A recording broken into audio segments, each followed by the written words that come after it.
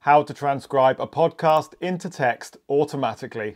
So you've recorded a podcast and you want to transcribe that audio for a blog post or a subtitles file. In this video, I'm going to show you how to transcribe your podcast automatically using an online video editor called Veed.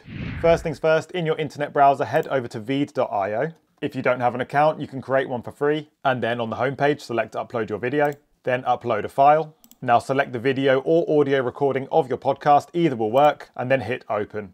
And once it's uploaded, you'll see your file sitting in the timeline of the editor. Now to start transcribing your podcast, head over to the left-hand toolbar and select subtitles, then select auto transcribe and select the language that you speak in your video. I'm going to select English and then hit start. The software will now automatically start transcribing the audio in your recording. And when it's done, you'll see that the audio has been converted into text over on the left-hand side and some text boxes have been dropped on top of your video in the timeline. Now you can listen through your file in the timeline to see if the editor has picked up any mistakes within the transcribing process. And if it has, you can manually type any corrections into the text boxes over on the left-hand side. And if you're transcribing your podcast to create some sort of subtitle file, you can change any of the timings for when the text appears on screen just by clicking and dragging the ends of the text boxes in the timeline. When you're done, click Options at the top of the subtitles menu, and at the bottom you'll see a drop-down menu under Download Subtitles. And in here you can see all of the different formats that you can download your transcription in.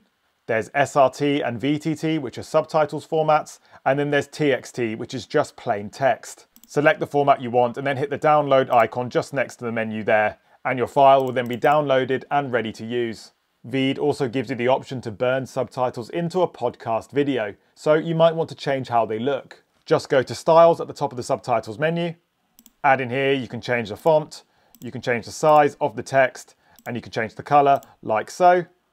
And just by scrolling down this same menu you can see that there are lots of different subtitle presets just here and by clicking on them Veed will automatically apply that style to your subtitles to give them some nice clean looks. You can also add some on-screen sound waves and progress bars. Just select elements over on the left-hand side.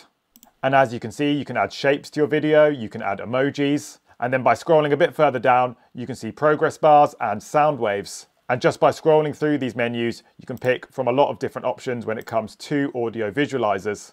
You might also want to add your podcast logo on screen. To do this, just go over to upload on the left-hand side, then select upload image and select your podcast logo from your computer and hit open and you'll see that Veed automatically drops your image on top of the video canvas.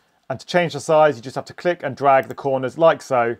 And you can also click it and drag it to put it wherever you want within the frame.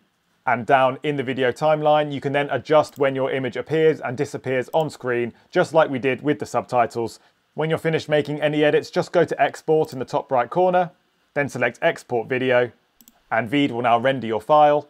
And if you're happy, just go over to the right hand side and select download MP4, which downloads your finished video to your computer.